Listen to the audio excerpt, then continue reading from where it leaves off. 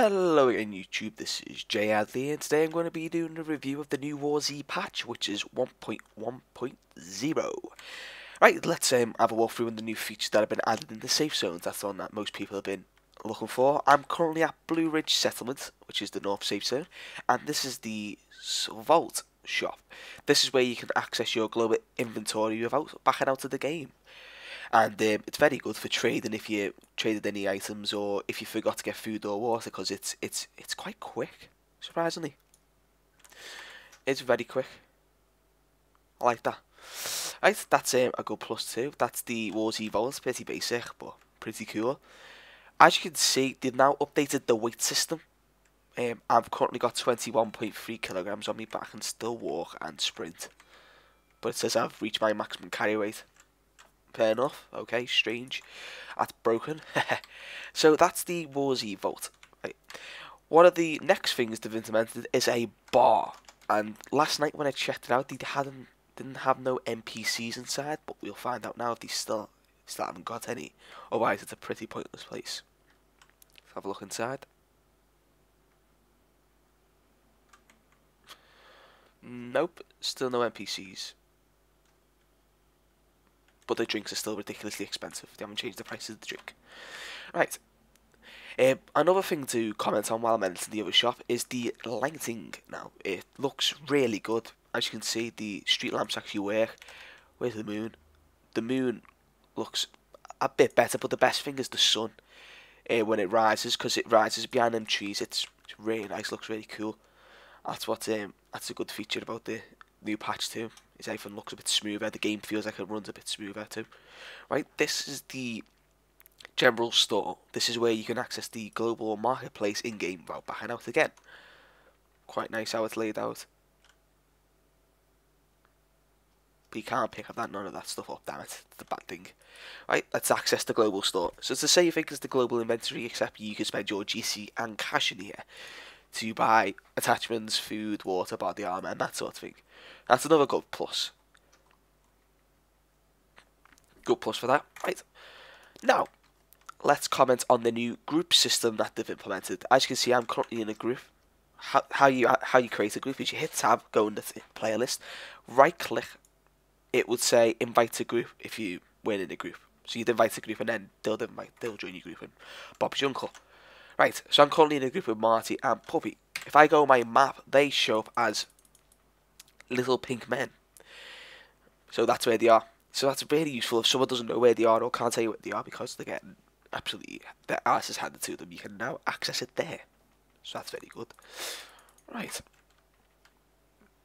That's the in-game features that they're now implemented to the game. Let's have a look at the server purchase system and see how good that is. Right, let's have a look at the server function. So we hit play game, my servers.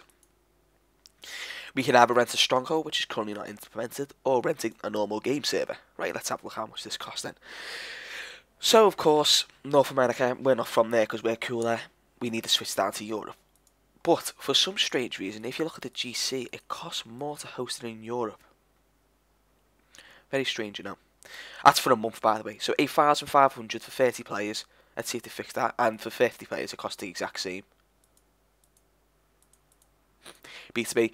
Right, so that cost 8,500. Let's see how much 8,500 cost. By the way, they've increased that because yesterday it was 120 or 125, so they've every dollar you get extra five game credits. How nice. Right, it will cost you $56, which is 40 odd pound, 40, 30 odd pound. Expensive for a month, isn't it? Very expensive. Right, so in total honesty, you wouldn't be paying for the month because it's not worth it. You might as well go for like a six month one, which will cost you a lot more, but it's more value for money. As you can see, there's a 6,000 GC increase. But the one that doesn't make sense to me, the 100 slot 6 month server, 62,000, which is about $440 it will cost for six months. Split between six, it's about about 30, 30 40 odd dollars each, which is worth it then. That's very good. But get on this. Let me switch to North American. It decreases by 10,000 game credits. And 10,000 game credits cost you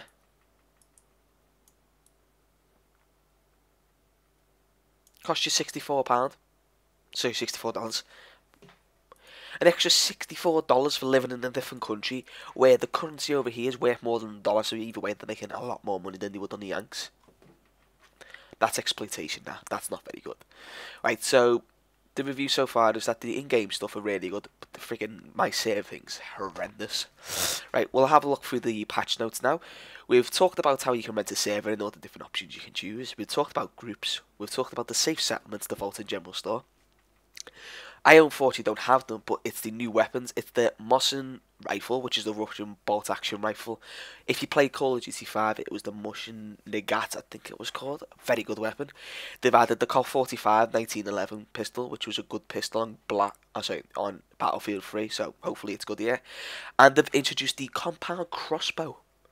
I have not personally seen that. Let me see if I can just dig up a photo of that. Let me just quickly see if I can get a photo, because I'm hoping it, it's going to look like the one out of The Walking Dead, because that would just be cool. Weapons...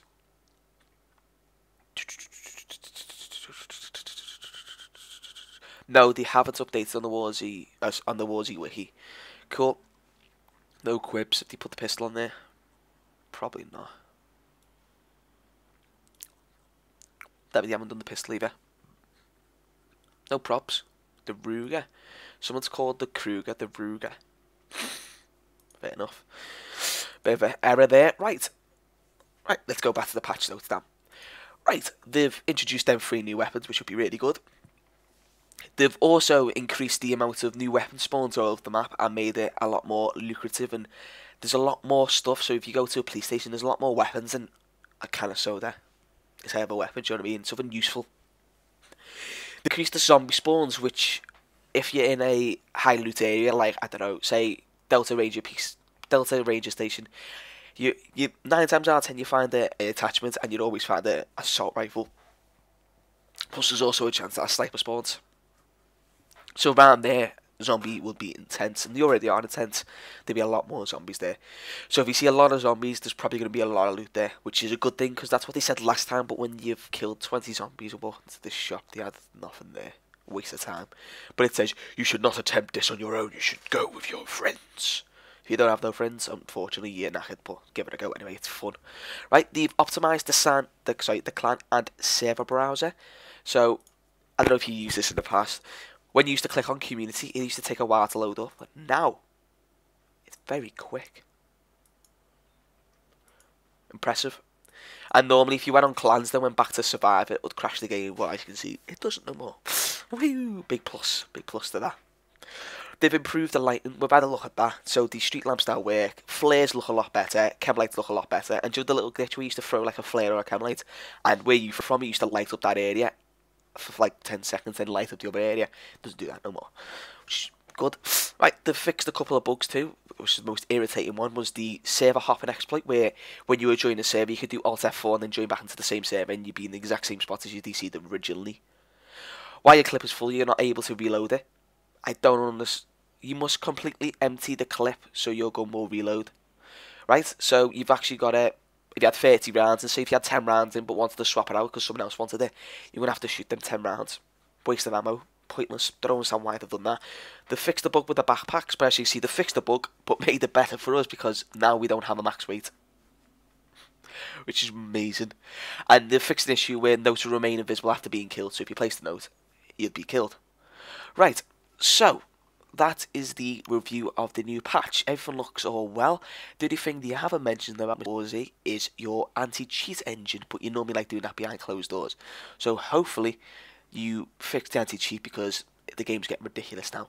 And currently, as of this video being uploaded, I'm doing a giveaway on my Twitch account, jhadley1, which is a full access to the War Z for free. All you have to do is subscribe, and as soon as I hit 150 followers, you will get the game, and then it will go on like 300 followers, you will get a free game again. So it will just constantly, constantly come on. So thanks for watching this video, guys. Sorry I haven't uploaded in a while. I've been streaming mostly, so if you head over to the Twitch account, I'm always on there. Alright, guys, have a good day and see you soon. Thanks for watching.